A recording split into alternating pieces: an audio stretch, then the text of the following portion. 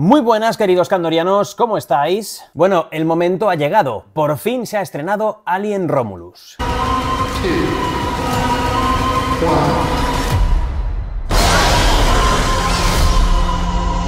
Sin duda para mí uno de los estrenos más esperados de este año, pero ¿estamos ante una de las mejores películas del año? ¿Y ante una de las mejores películas de ciencia ficción y terror recientes? ¿Cuál es la conexión de Alien Romulus con todo el resto de la saga Alien, incluyendo los videojuegos? ¿Qué sorpresas tiene? ¿Y por qué su tercer acto es algo completamente inesperado? Bueno, pues de todo eso y mucho más vamos a hablar en esta review a full de spoilers de Alien Romulus, así que prepárate para un rato de terror espacial, acción y muchas muchas sorpresas. Esto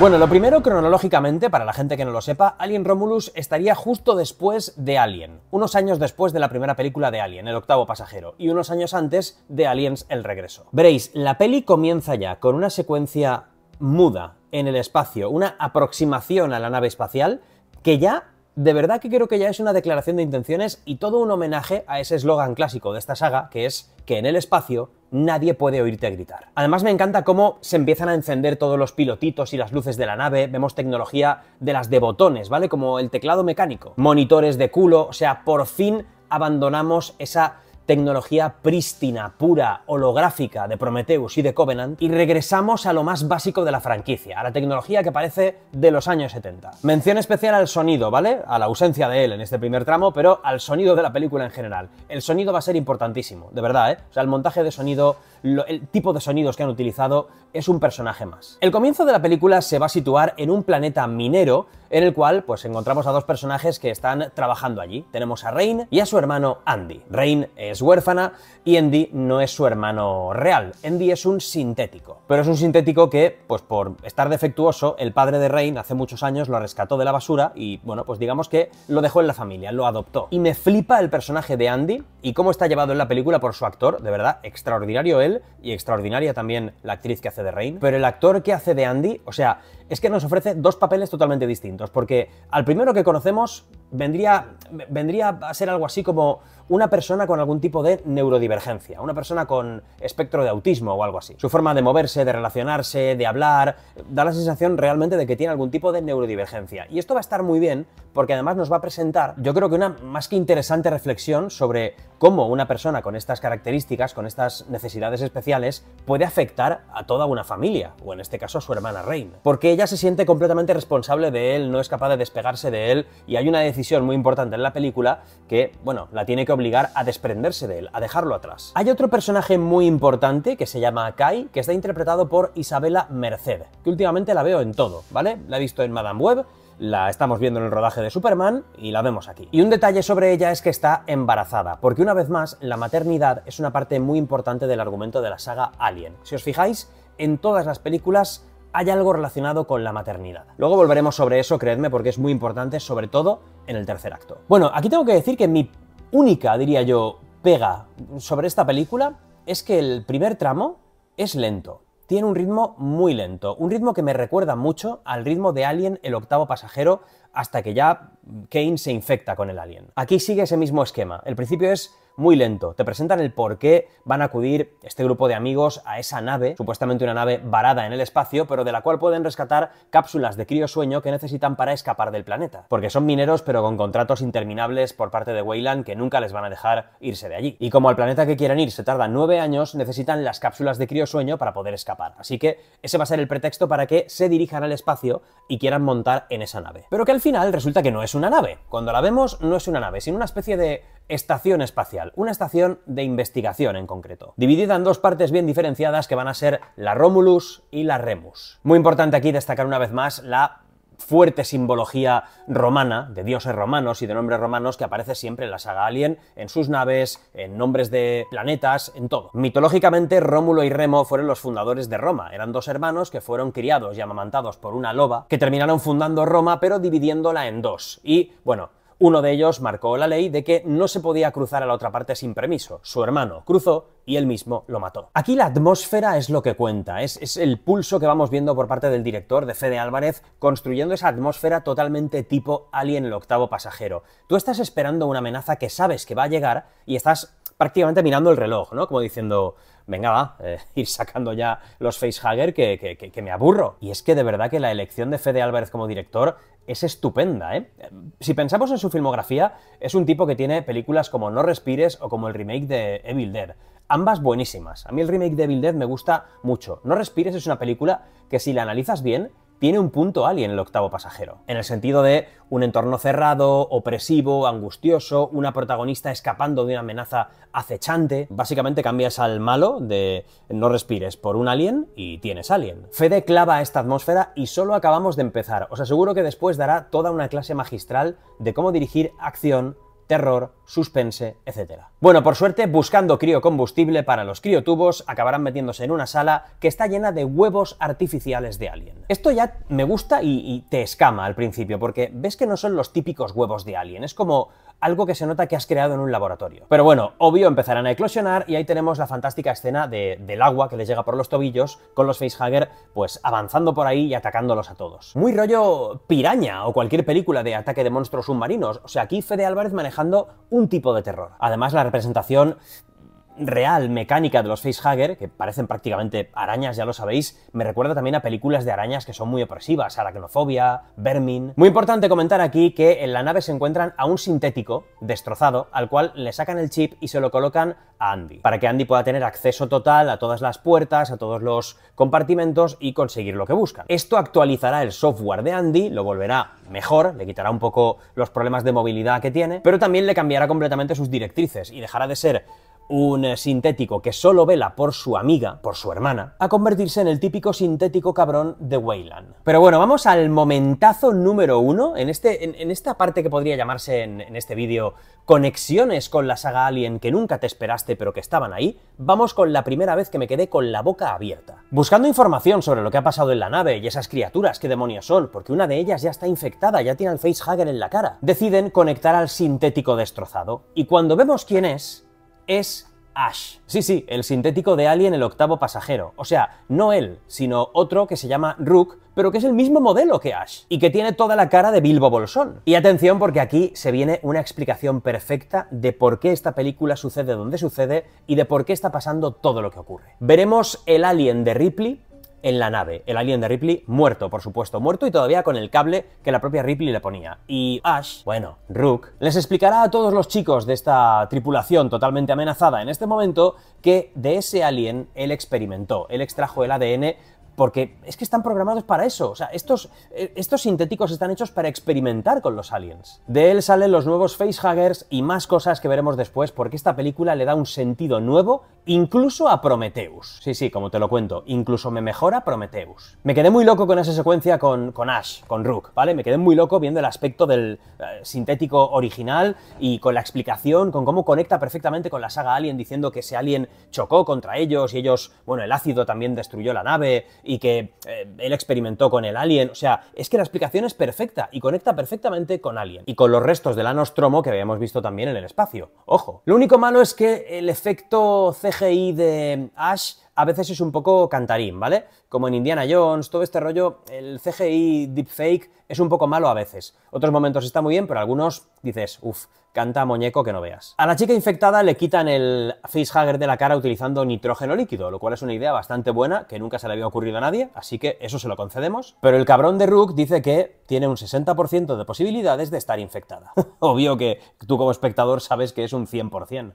Pero la escena en la que le revienta el pecho en brazos de Kai, en brazos del personaje de Isabela Merced, o sea, ¿qué rollo con esa escena? Está al nivel de la escena del primer alien que sale del pecho de Kane en el octavo pasajero, de verdad, ¿eh? Incluso el manejo del sonido es mejor aún, porque es el sonido en esta película es, llega a ser angustioso en muchos momentos. Cuando sale el chestbuster es absolutamente crudo, doloroso y brutal. Y luego además esto nos permite ver algo que nunca habíamos visto de esta manera, que es todo el ciclo vital del alien, o del xenomorfo, mejor dicho. Todos sabemos que primero está el facehugger, del facehugger emerge el chestburster y después siempre lo hemos visto convertido ya en, el xenomorfo. Hay un crecimiento muy rápido ahí, pero hay una fase intermedia que nunca habíamos visto en ninguna película, que es un enorme capullo con forma de coño. ¿Qué?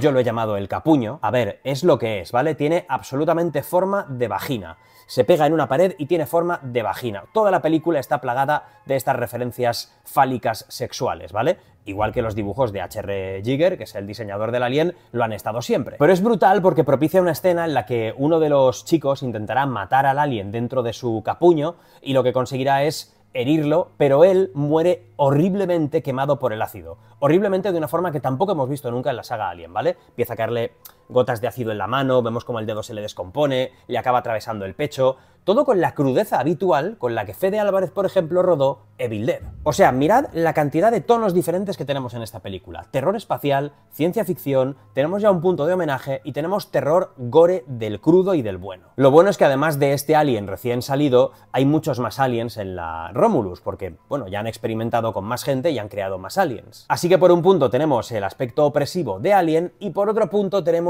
un montón de aliens contra los que luchar, como en Aliens. Incluso con un guiño al arma de los marines en Aliens, porque el arma que utilizará Rain es el arma de los marines, y si no es, es muy parecida. En este punto de la historia hay que decir que el personaje de Rain se ha convertido en la que lleva la batuta y la voz cantante. Es la Ripley de esta película y es una muy buena Ripley. Es una muy buena protagonista, ¿vale? No hace falta compararla con Ripley, aunque la comparación va a estar ahí, pero es una muy, muy buena protagonista. Y aquí también es importante mencionar ese dilema con Andy, con su hermano sintético, porque al planeta al que supuestamente ellos querían dirigirse no es un planeta que pertenezca al sistema de Weyland, por lo tanto no son permitidas personas artificiales. Pero ella no está conforme con dejarlo, pero sabe que lo tiene que dejar porque es lo mejor para ella. O sea, ¿veis un poco esos dilemas morales que se pueden plantear en la vida de cualquier persona que tenga a cargo a una persona. Y a todo esto, la nave, la Romulus, a punto de chocar con un cinturón de asteroides que la va a destrozar. O sea, tenemos tensión por todas partes. Hay una escena buenísima en la que el personaje de Kai está encerrada en una sala en la que el alien la está acechando por detrás. Y Andy no quiere abrir la puerta porque sabe que es lo que el alien quiere, que abra la puerta para poder entrar y matarlos a todos. Así que la dejará supuestamente morir. Luego sabremos que no ha muerto, sino que ha sido, pues como suelen hacer los aliens, atrapada y herida por él para infectarla después. En este punto de la historia, el auténtico antagonista, igual que en la primera Alien, es el sintético Rook, el sintético Ash. Y es que, ojo aquí a la conexión con Prometheus. Rook les explica cómo, investigando con el alien y rascando en su ADN, consiguió llegar hasta el origen mismo de, de su materia, que es una sustancia negra, viscosa, que todos reconocemos inmediatamente, con la que ha experimentado hasta conseguir crear una especie de suero que parece ser el paradigma de la evolución. Tú te inyectas eso, se curan tus heridas, sanas, evolucionas, te regeneras. Según explica Rook, es el sueño de Weyland, pero por fin cumplido. Y todo esto mientras escuchamos el magnífico tema musical de Prometheus.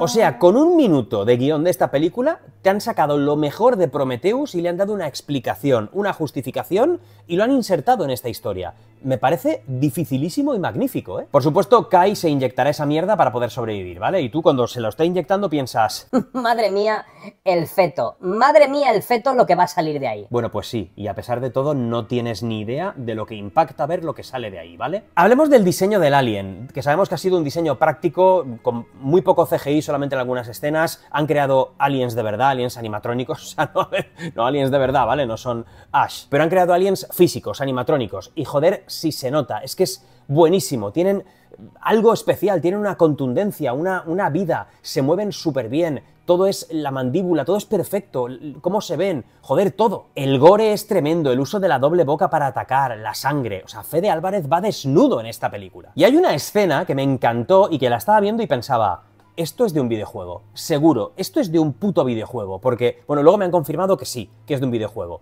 Es una escena en la que eh, Rain dispara a los eh, aliens que están viniendo, todo muy rollo aliens el regreso, y los les dispara en gravedad cero, para no quemar el suelo. Y lo que ocurre es que se generan, pues, formas de sangre ácida flotando en gravedad cero que ellos tienen que esquivar. Y parece tal cual eso, una pantalla de un videojuego. Es una escena buenísima. O lo del alien cara a cara con Rain, que parece tal cual sacado de Alien 3. O cómo culmina la escena con lo del ascensor en caída libre, que es fantástico de verdad, y además es un homenaje a Alien 4 y que termina con un homenaje a Alien 2. Sí, sí, cuando salta Andy y mata al alien y le dice, aléjate de ella, puto bicho. Que, bueno, si llega a decir puerca, ya me levanto y aplaudo. Por cierto, en este punto, por supuesto, Andy ya no tiene el chip del malo y vuelve a ser bueno. Pero bueno, os ahorraré detalles porque toda la parte central es el survival horror dentro de la nave de Rain y Andy, mientras que todos los demás van muriendo y ellos intentando escapar para que la nave pues no los mate o no se los coman los aliens. Consiguen escapar, consiguen hacer que la nave se estrelle contra el cinturón de asteroides, pero ellos escapar a la suya, solamente Andy, Rain y Kai, que está malherida. O sea, en este punto se han cargado a todos los aliens y están aparentemente a salvo. Pero hay amigos, si has visto la saga de Aliens sabes que hay una especie de norma no escrita, que es que cuando la protagonista se pasea en bragas a punto de entrar en el tubo de criosueño, algo va a salir jodidamente mal. Kai, que está muy mal herida, la crío duermen, pero de repente salta una alarma de sus constantes vitales disparadas y se despierta. Y amigos, da comienzo así un tercer acto que en absoluto me esperaba que fuéramos a ver de esta manera en esta película. Una absoluta sorpresa, y de hecho sé que será el componente más polémico que tendrá esta película, porque es un tercer acto arriesgadísimo. O sea, Fede Álvarez en esto ha dicho, aquí me la juego, o me sale muy bien o me sale muy mal. En una escena que sin duda recuerda mucho al, eh, a la operación que se hace la doctora Shaw en Prometheus para extraerse a la sepia, pero de una manera mucho más sangrienta y asquerosa porque es un parto, Kai da a luz una especie de huevo. Rain sale corriendo con el huevo, pero empieza a exudar ácido, cae al suelo y empieza a abrirse. Y lo que vemos en su interior es un puto bebé. No, no, no, no, no, no, no. Wait, wait, wait, wait. Un puto bebé pálido que sale de un huevo de alien. O sea, un bebé, un alien humanoide bien. No como la cosa esa mierdosa de Alien 4. El huevo atraviesa el suelo por el ácido y Rain va en su busca, pero solo encuentra el huevo vacío y lleno de ácido. Lo que sea que había dentro ya ha escapado y obviamente pensamos que ha crecido, porque crece muy rápido. A todo esto, en el piso de arriba, Kai, que está hecha polvo después del parto, empieza a tocarse los pechos y vemos como sale con una sustancia viscosa, asquerosa. Y tú piensas, ¿eso es lechita para la criatura? O sea, ¿está subiéndole la leche para amamantar a la mierda que haya parido? Wait, wait, wait. es que de verdad es una rayada, ¿eh? O sea, es- ha ido muy al límite Fede Álvarez. Pero el momento en el que conocemos a la criatura, de verdad, es una presentación de monstruo de película de terror. de- del más horrible que te puedas imaginar. El aspecto que tiene es una pesadilla, chicos, os lo digo en serio, ¿eh? Aspecto humanoide, pero brazos largos, todo el cuerpo delgado, esos, esa especie de protuberancias óseas que tienen los aliens, piel pálida, completamente le va creciendo la cola, es altísimo. Y es que todo este acto final es que parece otra película dentro de la película. Es una película de terror cuando ha terminado la parte de Alien Romulus. No sé si me explico. Película de terror con monstruo, pero al mismo tiempo homenajeando a películas como Alien Resurrection, con el tema del eh, híbrido alien humano, lo recordáis todos, e incluso al aspecto de los ingenieros, porque si tú miras bien a la criatura, tiene todo el aspecto de los ingenieros de Prometheus y de Covenant. Eh, la cabeza pelada, la forma de las cuencas de los ojos, de la mandíbula, o sea, se nota que el ADN primigenio de todo esto es de los ingenieros. Todo este tramo final está lleno de una tensión y de un terror, de verdad, de película de monstruo. Sustos, jumpscares, el ataque del monstruo, Rain intentando soltar la zona de carga de la nave para tirar a la criatura al espacio. No sé cómo definirlo, de verdad, es que se siente otra película. Yo no sentía que estaba en, en algo de Alien, sentía que estaba en, en el final de Rec, por ejemplo, con la niña Medeiros por ahí, porque además el aspecto es muy niña Medeiros. Pero no, si te lo estás preguntando, no es Javier Botet. Hablé con él por WhatsApp, le pregunté y me confirmó que no, que no es el alien. Bueno, al final, por supuesto, Rain vencerá y se dirigirán ella y Andy al planeta al que se querían dirigir y ya pues la historia se escribirá en otro momento, ¿no? Pero, pero eso no es lo importante. La película termina ahí, pero eso no es lo importante. Y tampoco que no hay postcréditos, por ejemplo. No, no. Vamos a hablar de lo valiente que ha sido esto. Lo importante es lo lejos que ha ido este acto final y lo divisorio que puede llegar a ser. A mí me ha encantado totalmente porque es, es mi mierda, ¿vale? Es totalmente mi mierda. Y veo el homenaje a todo que ha querido hacer aquí Fede Álvarez, a Alien 4, a Prometheus, al terror clásico de toda la vida. Está súper bien rodado, el diseño del monstruo es aterrador, de verdad, o sea, de, de pesadilla. Y ojalá que la gente no ataque la película por este acto final y que entiendan la decisión tan valiente que ha tomado Fede Álvarez. Sin duda es el giro más osado que tiene esta película. Tal vez incluso ese cartel que le dejó Ridley Scott en su caravana a Fede Álvarez cuando iban a empezar a rodar y le dijo, por favor, no la cagues, tal vez hacía referencia a esto, a que Ridley sabía que la idea que tenía Fede era hacer esta barbaridad final. Pero bueno, Ridley, que aún estamos esperando que nos expliques Covenant, así que tampoco estás para quejarte, ¿eh? Pero bueno, por terminar ya el vídeo, en definitiva para mí estamos ante un completo peliculón. Tener los santos huevos de combinar lo mejor de Alien el octavo pasajero, lo mejor de Aliens, guiños a Alien 3, Alien Resurrection, conseguir meter la historia principal de Prometheus aquí de forma que encaje. Meterle referencias y escenas calcadas al videojuego Alien Isolation. Es una peli que puede entenderse como algo completamente continuista, como una especie de Alien 1.5, pero también como su propia cosa. Y es un nexo increíblemente sólido de todo este universo de Alien. Ya os digo, es que me ha mejorado hasta mi impresión de Prometheus, es que le da un sentido. Covenant no, Covenant no lo mejora nada. Pero la gran pregunta que mucha gente se está haciendo y que siempre está muy bien contestar porque a la gente le gustan mucho los absolutos, aunque solo un Sith habla en absolutos. ¿Es la mejor película de la saga Alien? ¿Es mejor que Alien el octavo pasajero o que Aliens?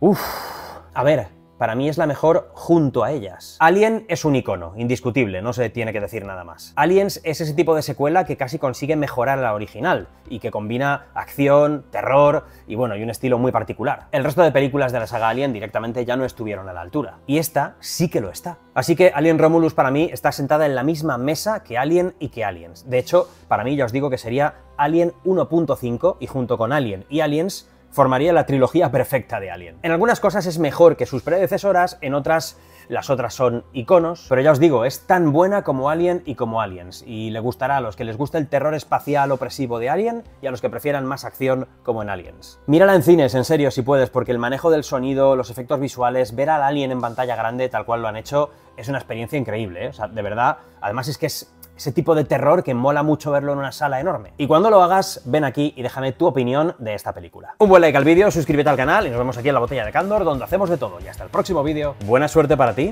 y para tu familia. La botella de